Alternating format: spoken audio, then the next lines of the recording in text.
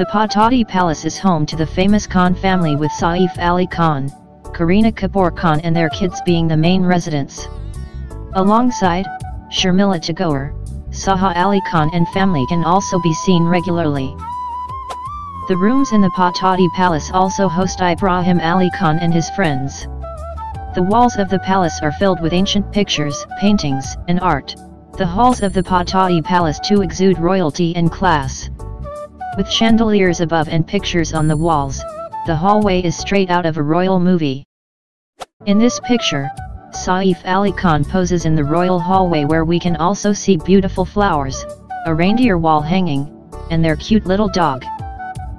The dining hall of the palace screams perfection. With beautiful candle stands and lush red curtains, the room exudes an ancient aesthetic.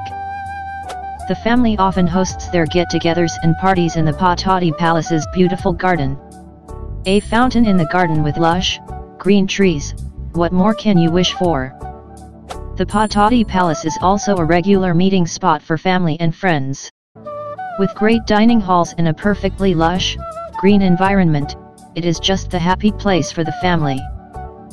With a pure white exterior and colorful blossom trees enhancing the grandeur of the place, the Pataudi Palace is a marvel that has been preserved perfectly and will remain an awe-inspiring palace forever.